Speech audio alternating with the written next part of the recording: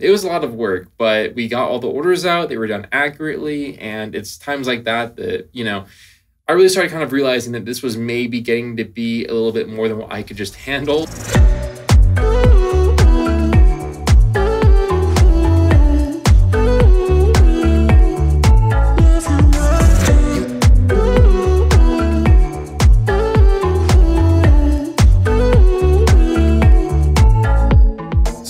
Of people always ask me how I ever take a vacation or go out of town because they know how much I tend to work on SpeedCubeShop related stuff. And it kind of made me think of back before I really had a full staff and it was just myself really running the store and how vacations looked. So I never really actually took vacations, but the one exception I made was to go to the Bondurant High Performance Driving School up in Phoenix, Arizona, which was about seven and a half hours from our location in Bakersfield. So at that time, I was really, really nervous, but I could not pass up the opportunity. It was gifted to me as a birthday present, and me being the driving nut that I am, I mean, what's more fun than to go drive some? At the time, I think it was the C7 Corvettes before they went to the Viper ACRs, then to now the Dodge Hellcats.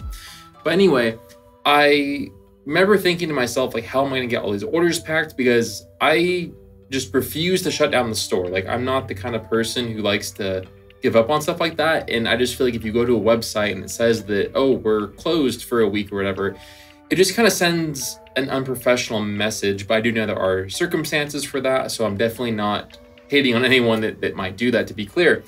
So I came up with the idea that I would FaceTime my girlfriend at the time, um, now my fiance Veronica, I would FaceTime her every night after a long day of driving out in the summer um, Phoenix heat.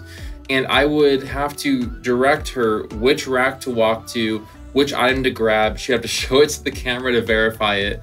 And I'd have to like literally walk her through the entire process.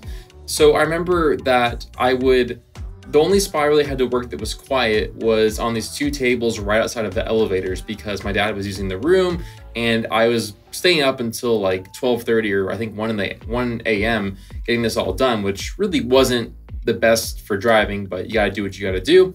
So I remember I would be sitting there and occasionally like some straggler would walk up the elevator and just open it like thinking that no one would be there and I'm just right there working on the phone. It was a little awkward, but I would go and like print all the orders from my laptop and save them as a PDF, send them over to Veronica's computer or my computer at the house and have her print them. And then she would FaceTime me and then she'd show me the invoice, read it off. And I would have to go and direct her where to find the item and then verify which one on the shelf it was. And if there wasn't any there, where to find more. And it was a lot of work. I mean, we spent hours, like probably two and a half, three hours a night doing this and um, it was a lot of work but we got all the orders out they were done accurately and it's times like that that you know i really started kind of realizing that this was maybe getting to be a little bit more than what i could just handle. So luckily now i'm in a position to where i can go and travel and do things i need to do and not have to spend hours on the phone directing people where to find cubes and help them pack orders